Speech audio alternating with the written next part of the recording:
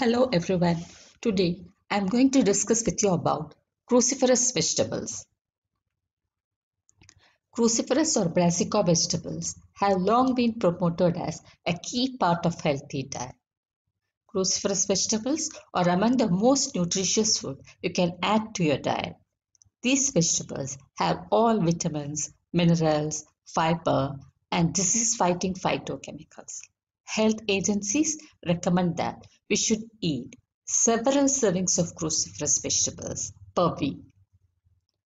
Can you give me some examples of cruciferous vegetables?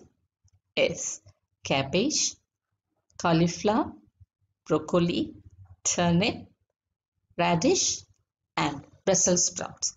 All these are cruciferous vegetables. Now coming to the property of cruciferous vegetables. Cruciferous vegetables are full of glucosinolates, a sulfur-containing compound responsible for creating strong aroma and bitter flavor. When you hold a cruciferous vegetable to your nose, you might notice that it doesn't smell much at all. This is because the scents and flavors are not created until you cut, cook or chew. Damaging the cell walls by cutting releases an enzyme myrosinase that breaks down glucosinolates into biologically active compounds called isothiocyanates. So why should you eat more cruciferous vegetables? The veggies in this family have been associated with reduced risk of heart disease and stroke and are being studied for the potential role in cancer prevention. A review of research published in the Journal of American Dietetic Association showed that 70% or more of the studies found a link between cruciferous vegetables and protection against cancer. Study shows that one of the phytochemicals found in cruciferous vegetables, sulforaphane, can stimulate enzymes in the body that detoxify carcinogens before they damage our body cells. Another way cruciferous vegetables may help to protect against cancer is by reducing oxidative stress. Cruciferous veggies are also known as rich source of fiber which promotes digestive health and gives you a feeling of fullness for better blood sugar control and weight management.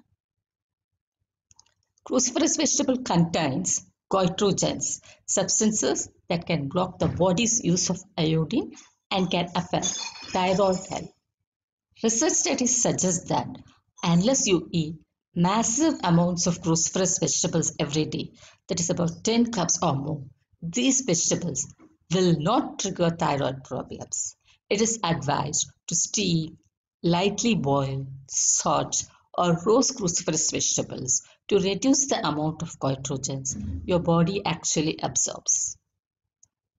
Now, to maximize taste and nutrition, here are some tips for buying and cooking cruciferous vegetables.